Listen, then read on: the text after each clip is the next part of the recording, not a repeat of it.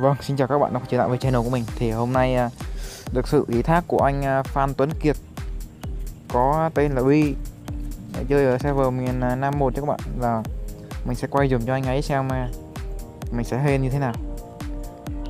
Thì à, của anh ấy cũng bình thường thôi. Cũng RBK cộng 7 Đia Kinh 7 phát 7 Nói chung là nhiều đồ 7 lắm. Đấy. Mình có đầu tư chơi rất là nhiều lên level 70 rồi VIP 8 không dài dòng nữa. Mình sẽ thử cái vận may của mình và mình muốn là nó sẽ ra và cái này là chỉ hên xui thôi nha. Mình chẳng bao giờ thủ thuật mẹ gì hết. Cây được cây đua đe gì đây này? Đua reset gì đấy, again. Có vẻ là mình quay một cái quân tăng nhỏ thôi. Ôi cái cha. Chết nhầm tí nữa là chết rồi mình đi sửa súng cái đã cho nó màu một tí.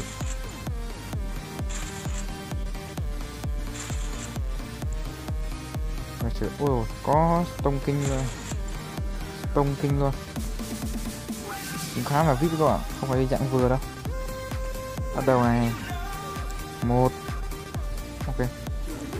Qua cửa hóa xem lại cái con đua đè này bắt đầu nha. Một đó 512 à, 522 kim cương đã ra đi. Ôi vision 7 ngon. G36 vải cắt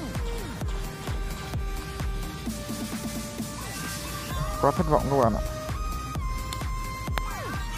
Không biết là quay quay tệ như vậy có bị chửi không?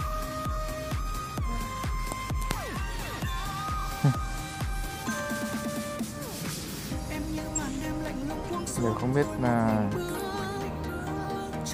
Vision 7 này G36 số mình nhọ vậy nhỉ cái này cũng có thể lên 7 rồi chắc là vip thế là kho đồ gần hầu hết là 7 à, không ra được cây kỹ sĩ nào. Nhậu vậy đâu Vâng, cảm ơn nhà tài trợ đã tài trợ cho video này mặc dù quay méo được gì. Thật là phụ lòng bạn quá Yeah.